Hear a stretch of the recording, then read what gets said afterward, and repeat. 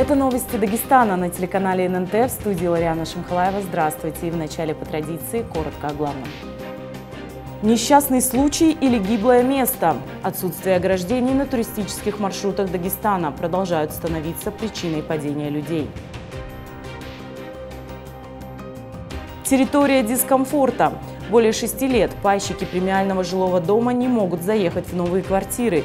Тем временем инфраструктура квартала оказалась далеко не такой, как на рекламном буклете. Поздравление лично от муфтия. Лучших в стране алимов и хафизов чествовали в Хасавюрте. О том, как именно проходил ежегодный конкурс на знание исламских наук, смотрите в выпуске.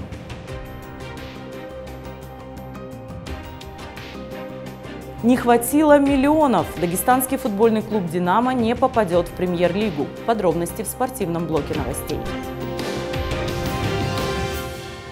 Множественные переломы, в том числе основание черепа. С верхней смотровой площадки Гамсутля Гунипского района сорвалась туристка из Екатеринбурга. Информация поступила по системе 112. На место были направлены спасатели Чародинского ПСП, бригада скорой помощи и полиция. Девушку без сознания доставили в областной центр района вертолетом медицины катастроф.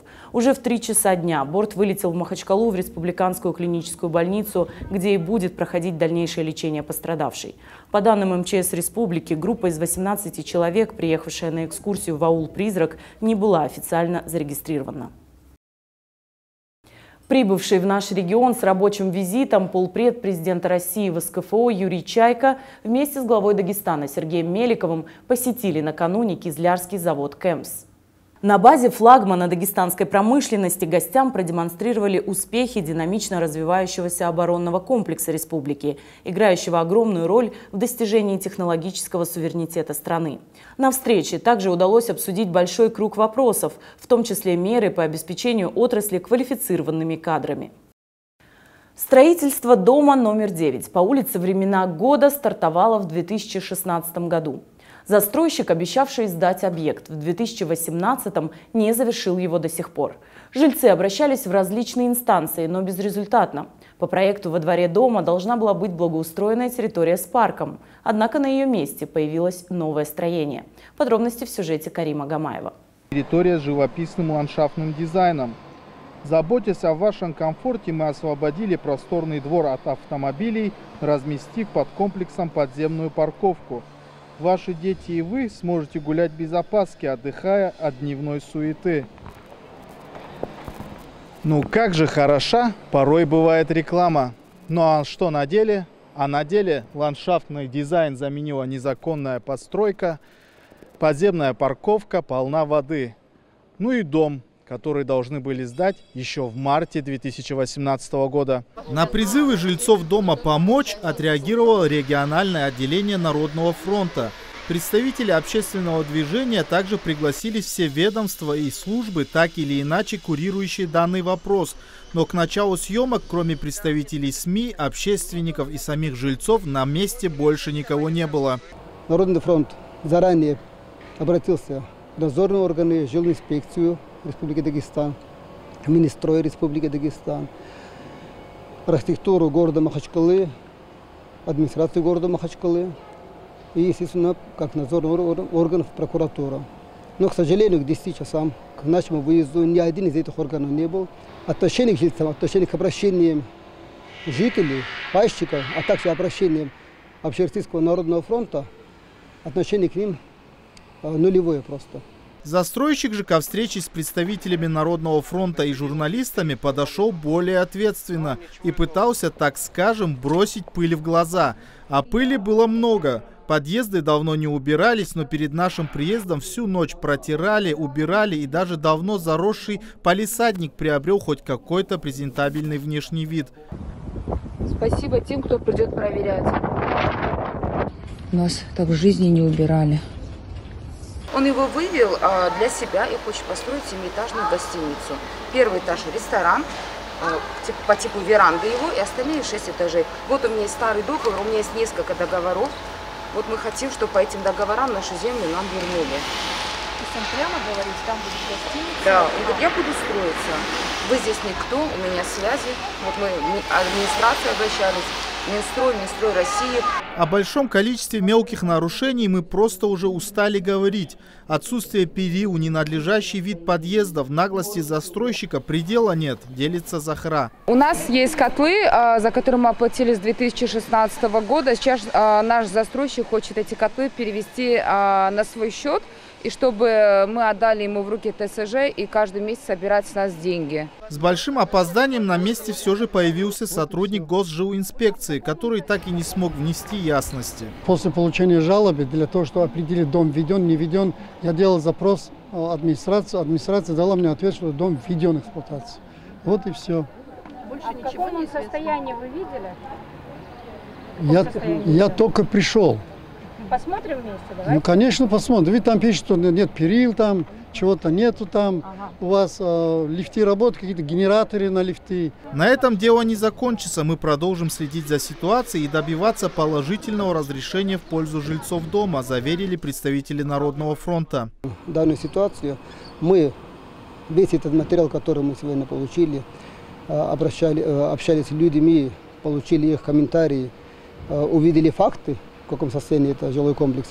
Мы это все передадим надзорным органам, передадим прокуратуру и республики, и федеральной прокуратуры. Также будет федеральный центр Народного фронта, также держат это все под контролем. Несоблюдение договоренности, некачественное строительство и большая вереница обманутых людей. Остается надеяться, что в нашей республике когда-нибудь наведут порядок в этой сфере. Карим Гамаев, Саид Шагидов, новости ННТ Махачкала. И к другим темам. Протянем руку помощи. Телеканал ННТ и фонд «Инсан» продолжают рассказывать о тяжело больных детях. Для того, чтобы принять участие в благотворительной акции, достаточно будет перечислить любую желаемую сумму, перейдя по QR-коду, который вы увидите на ваших экранах, или через мобильное приложение фонда. В прошлый раз мы помогли 13-летней Заире с диагнозом ДЦП. Сегодня в нашей с вами поддержке нуждается 6-летняя Патимат, пережившая инсульт. Далее подробнее. Да? Моя меня вкусная? Моя принцесса? Даже просто причесывая волосы дочери, мама вынуждена придерживать ее спинку и голову. У девочки уже не один диагноз. Снижен тонус конечностей, задержка развития и речи, часто случаются приступы эпилепсии. Рабиат уверяет, что беременность протекала нормально, на свет должна была появиться здоровая, а главное долгожданная девочка. Однако практически сразу после родов началось нечто страшное и неожиданное. Она родилась здоровой, и на 15-е сутки после родов у нее случился обширное кровоизлияние мозга. А, и через два месяца ей сделали операцию по установлению шунта, потому что у нее голова росла, у нее была гидроцефалия. Сейчас а, где-то вот э, ближе к году ей поставили диагноз ДЦП, псевдобульбарный синдром, астигматизм, ЗПРР и множество других сопутствующих диагнозов. Рабият в прошлом медик, но с рождением дочери на карьере пришлось поставить крест. Сейчас малышке мама нужна буквально 24 часа в сутки и 7 дней в неделю. И так уже более 6 лет. Ну, это все началось 30 ноября 2016 года, вот когда у нее случился инсульт. А, я работала медсестрой, и мне пришлось рассчитаться, а, потому что по уходу смотреть за ребенком некому было, и я, я была вынуждена уйти с работы.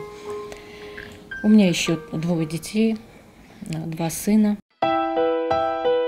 Если пропускать курсы реабилитации, состояние девочки ухудшается. Именно поэтому в этот раз, по советам врачей, им необходимо выехать за пределы Дагестана, в московскую клинику инновационного лечения детей с такими недугами. Однако сумма в 647 тысяч рублей для матери-одиночки действительно неподъемна. Медлайн мы хотим поехать, э, чтобы не только реабилитировать ребенка, но еще э, провести лечение. Оно будет длиться где-то вот две недели. Там будет проходить курс ре, реабилитации ЛФК, остеопаты, дорогостоящие анализы еще, ну и многое другое. А для таких деток э, особенных, да, обязательно нужны вертикализаторы, коляски специальные, артезы.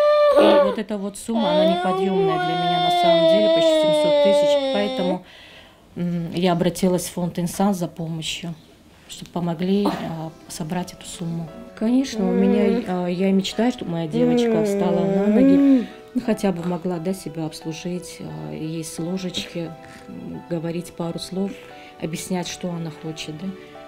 Шансы на то, что Патимат сможет встать на ножки, держать голову и принимать пищу самостоятельно, действительно есть. Помимо э, множественных реабилитаций и лечения, нам еще также приходится покупать э, противосудорожные препараты. Они жизненно необходимы для нее. А, также я пищу измельчаю через блендер, она есть и жевать не может сама.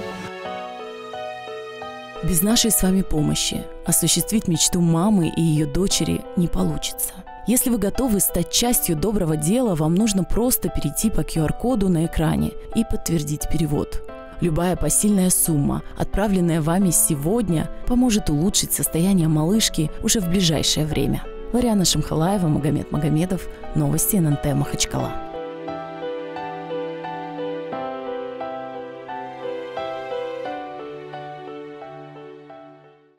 Министр сельского хозяйства и продовольствия республики, а также глава Нагайского района посетили муфтия Дагестана шейха Ахмада Афанди. В ходе беседы Мухтарби Аджеков поблагодарил духовного лидера за оказанное внимание и поддержку в развитии сельского хозяйства. Дагестан один из э, таких регионов, где выпускается э, халяльная продукция, в том числе а, как раз и продукция овцеводства, которая востребована и в Персидском заливе, и в Иране. И поэтому мы хотели бы совместно этими усилиями, чтобы, чтобы ошибок этих не допустить, чтобы правильно все это организовать. Поэтому вот э, сейчас э, нас заверили, что в этом плане нас поддержат, подскажут, помогут все это организовать. Сегодняшний день это важно заниматься сельским хозяйством. Если взять с точки зрения шариата, тоже важно. Более от нас же Всевышний требует, чтобы мы питались, одели, дозволенным путем заработанными средствами. А более чем дозволенный, чем сельское хозяйство, что будет? Абсолютно правильно. Это заниматься овцеводством, там, крупнорогатый скот и земледелие. Это очень важно. В общем, я думаю, это перспективная работа. Да, да. И будущее, можно сказать, что будет лучше этом направлении. Глава Нагайского района впервые лично познакомился с муфтием Дагестана. Джамаудин Сергепов отметил неоценимую роль духовного лидера в деле воспитания и религиозного образования населения. Мы знаем, что вы не только на словах, но и на деле э, не только поддерживаете, но и любите нагайский народ. Вот, э, и для меня вот большая честь сегодня вот лично познакомиться с вами, почувствовать вот именно ваше вот рвение объединять весь народ Дагестана. Все ваши слова и все ваши дела направлены на это. Я надеюсь, и дальше будет лучше. Спасибо за понимание, за такие теплые слова, конечно. Да, чтобы от вас распространилась польза на весь район. Это, конечно, там многие хозяйства у вас там живут. Да чтобы для них тоже была польза, от них, чтобы вам была польза. Сегодня прошла реконструкция нашего мадресе э, районном центре Тереклимектеп. Я знаю, что Ахмад Хаджи э, э, сделал очень много, чтобы оно вот за короткий срок преобразился. Сегодня он находится в самом, район, в самом центре района, района село Тереклимектеп. И не, то, не только своим обликом а, но и вот самое главное, духовная составляющая, это наши дети сегодня идут туда и как туристы, э, и потом приобщаются уже э, вот именно к духовным ценностям. Муфти Дагестана поздравил призеров Всероссийского конкурса молодых алимов и хафизов, который проходил в Хасавюрте. Победителями в двух номинациях из трех стали студенты Дагестанского исламского университета имени Мухаммада Арифа. Хамза Нурмагомедов расскажет подробнее. В этом году в Хасавюрте состоялся 20-й всероссийский конкурс молодых алимов и хафизов. Всего принимали участие более 200 подготовленных студентов исламских учебных заведений страны. Лучших знатоков определяли в трех номинациях – исламские науки, чтение наизусть всего Корана и правильное совершение намаза. С каждым годом конкурс выигрывать становится каждый раз сложнее и сложнее. И муталимы очень ответственно к этому подошли, подготовились, не давали слабину. И результат не заставил себя ждать. Студенты Дагестанского исламского университета имени Мухаммада Арифа в самой сложной категории исламские науки заняли первые пять мест. Причем победитель превзошел оппонента всего на полбалла. Доктора наук там были, которые, жюри, которые проверяли, готовили вопросы. И очень высокая, высокая конкуренция была. Элементарно я первым занял, вторым место занял Шамиль. Между нами было полбалла. Представьте, из максимальный балл 210, а в итоге я победил на полбалла. Это там очень высокая конкуренция, и, альхамдулиллах, получилось победить. В номинации «Чтение наизусть всего Корана» лучшим также оказался студент Дагестанского исламского университета Амир Магомедов. И эта победа стала первой для вуза во всероссийском конкурсе в этой категории. Конечно, у нас преподаватели были, они очень ответственно подошли к этому. И мы также, естественно, очень ответственно готовились, начиная с сентября месяца. По, вот, по, до мая мы все время готовились, ежедневно.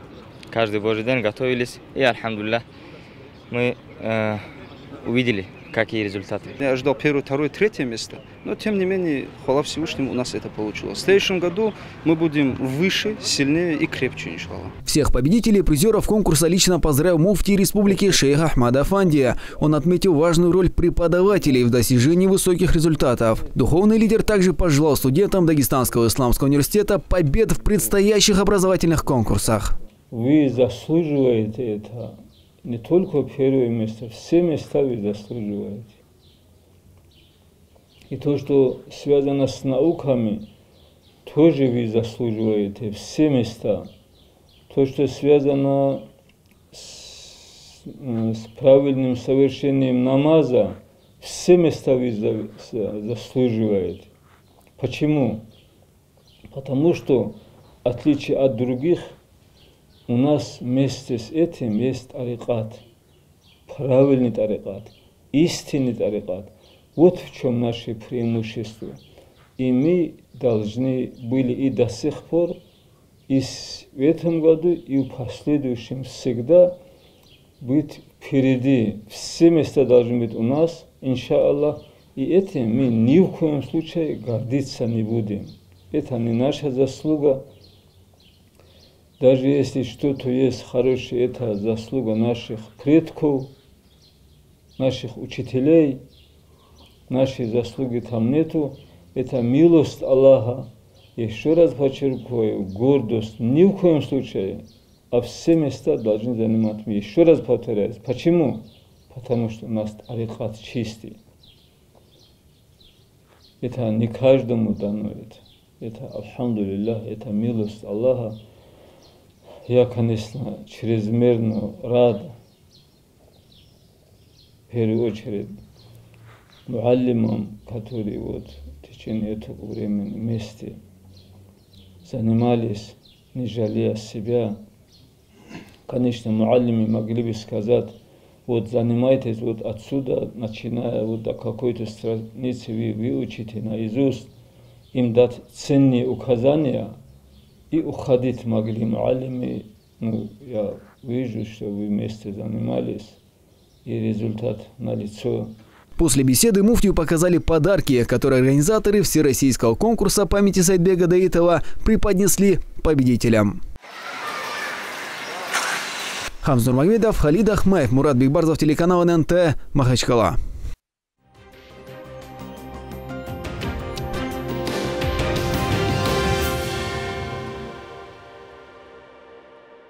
И о спорте дагестанские футболисты сыграют в финале Кубка мира среди любителей. Турнир проходит в Турции. Сборная России в полуфинальном матче выиграла у команды Ирака 4-0. В решающей встрече соперниками национальной команды станут футболисты Турции или Ливии. Сборную России на турнире представляют трое дагестанских футболистов – Муслим Бамадгиреев, Гамид Шахбанов и Рустам Рамазанов.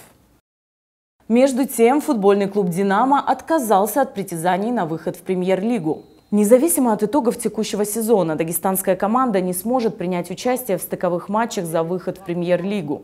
Бело-голубые не получили лицензию РФС-1, позволяющую в следующем сезоне играть в высшем дивизионе российского футбола. В клубе сообщили, что препятствием для них стала необходимость установки на домашней арене дорогостоящей системы идентификации болельщиков Fan ID. Ее примерная стоимость от 25 до 50 миллионов рублей. Отметим, что за два тура до окончания первенства в первой лиге махачкалинцы занимают шестое место. Смотрите новости ННТ также на наших каналах в социальных сетях. На этом я, Лариана Шамхалаева, с вами прощаюсь. До скорых встреч в эфире.